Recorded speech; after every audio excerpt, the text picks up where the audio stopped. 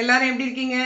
இன்னைக்கு நம்ம கும்ரு டெப்பர் சேனல்ல இருந்து முதல் முறையாக ஒரு நான்வெஜ் ரெசிபி போட போகிறோம் என்னென்னா பெப்பர் சிக்கன் மசாலா அது செய்கிறதுக்கு செய்யறதுக்கு தேவையான பொருட்கள் வந்து ஒரு கிலோ சிக்கன் இதை வந்து நான் நல்லா வாங்கி க்ளீன் பண்ணிவிட்டு உங்களுக்கு உப்பும் மஞ்சளும் போட்டு அதை ஊற வச்சுருக்கேன். அப்போ தான் அதில் இருக்க கிருமிகள்லாம் வந்து செத்துரும். நீங்கள் தைரியமாக சமைக்கலாம். இப்போது சிக்கன் சாப்பிடக்கூடாதுன்னு சொல்கிறாங்க இப்போ நீங்கள் தைரியமாக சாப்பிட்லாம் அந்த மாதிரி பண்ணிட்டா. அப்புறம் வந்து சின்ன வெங்காயம். சின்ன வெங்காயம் ஒரு நானூறு கிராம் நல்லா பொடி பொடியாக கட் பண்ணி வச்சுக்கோங்க. அப்புறம் வந்து தக்காளி வந்து ஒரு மூணு பெரிய தக்காளி அதையும் வந்து ஸ்லைஸ் போட்டு வச்சுக்கோங்க. இஞ்சி பூண்டு பேஸ்ட் வந்து ரெண்டு டீஸ்பூன் பெப்பர் வந்து ஒரு டீஸ்பூன் பெப்பர் தூள். இது லெமன் வந்து கொஞ்சோண்டு லெமன் சாறு உங்களுக்கு லைட்டாக புளிப்பு டேஸ்ட் வரதுக்காக லெமன் சாறு. மஞ்சத்தூள் கொஞ்சம். இது வந்து கறி மசால் பவுடர் இது ஒரு டீஸ்பூன் எடுத்துக்கோங்க. கறி மசால் உங்கள்கிட்ட இல்லை அப்படின்னா கரம் மசாலா பவுடர் எடுத்துக்கலாம். இது வந்து சில்லி பவுடர் ஒரு ஸ்பூன் மல்லித்தூள் ரெண்டு ஸ்பூன். ஏன்னா இது ஒரு ஸ்பூன் போட்டிங்கன்னா அது ரெண்டு ஸ்பூன் போடணும். பச்சை மிளகா மூணு.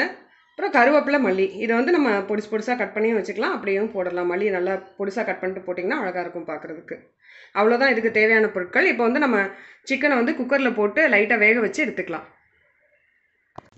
இப்போது அடுப்பில் ஒரு குக்கர் வச்சு அதில் சிக்கன் போட்டு அதில் வந்து அந்த மிளகாய் படியிலேருந்து கொஞ்சம் போட்டு இஞ்சி பூண்டு பேஸ்ட்டையும் கொஞ்சம் போட்டு கொஞ்சமாக தண்ணி ஊற்றி நம்ம வேக வச்சு எடுத்துக்கலாம்.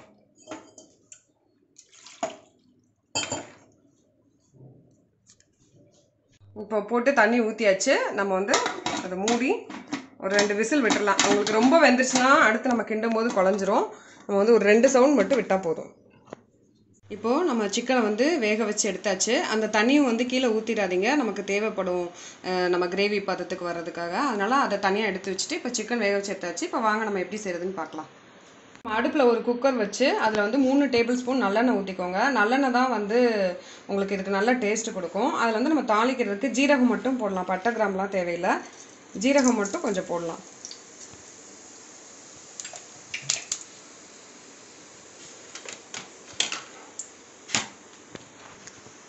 ஜீரகம் பொரிஞ்சதும் சின்ன வெங்காயத்தை அதில் போட்டுடலாம்.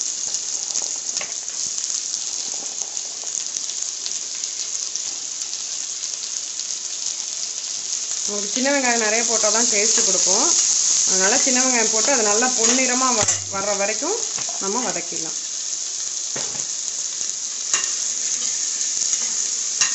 இப்போது வெங்காயம் வந்து பொன்னிறமாக வந்துடுச்சு இதில் வந்து நம்ம பச்சை மிளகாய் போட்டுடலாம்.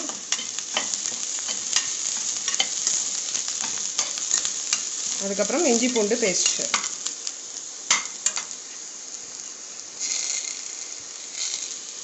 இஞ்சி பூண்டு பேஸ்ட் போட்டு அதோட பச்சை வாசனை போகிற வரைக்கும் நல்லா வதக்கி விட்டுட்டு அதுக்கப்புறமா நம்ம தக்காளி போடலாம்.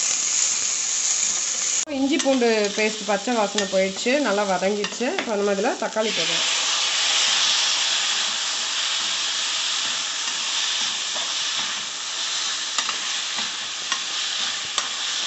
இப்போது தக்காளி நல்லா வதங்கிடுச்சு நம்ம வந்து அதில் கருவேப்பிலை போட்டுடலாம். அதுக்கப்புறம் இந்த பொடி வகைகள் எல்லாமே நான் ஒன்றா கலந்துட்டேன். அது எல்லாத்தையுமே போட்டுடலாம் எல்லா பொடியும்.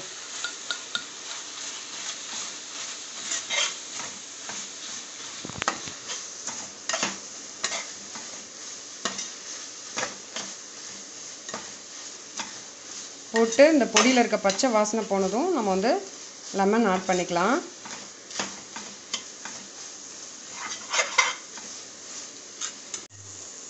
இப்போது நம்ம லெமன் ஆட் பண்ணிடலாம்.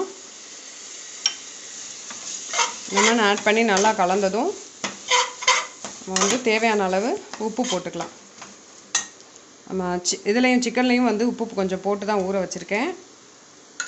அதனால் உப்பு அளவு பார்த்து போட்டுக்கோங்க. இதெல்லாம் கொஞ்சம் சேர்ந்ததும் நம்ம சிக்கன் இதில் போட்டு வேக வச்சிடலாம். பெப்பர் பவுடர் வந்து கொஞ்சம் நேரம் கழித்து சிக்கன் போட்டதுக்கப்புறம் போட்டுக்கலாம். இப்போது எல்லாமே நல்லா கலந்துருச்சு. நம்ம இதில் சிக்கன் போட்டுடலாம்.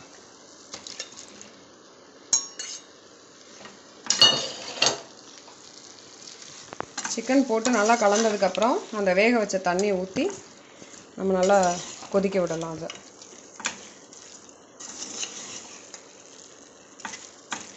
நல்லா கலக்கணும் இந்த மசாலா எல்லாமே.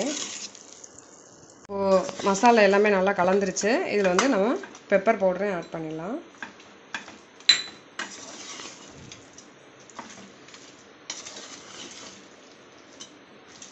பெப்பரும் போட்டு கொஞ்ச நேரம் நல்லா வதக்கியாச்சு. நீங்கள் என்ன பத்தலைன்னா இன்னும் கொஞ்சம் நல்லெண்ணெய் ஊற்றிக்கோங்க இப்போ இதில் வந்து நம்ம அந்த சிக்கன் வேக வச்ச தண்ணியை நம்ம ஆட் பண்ணிடலாம்.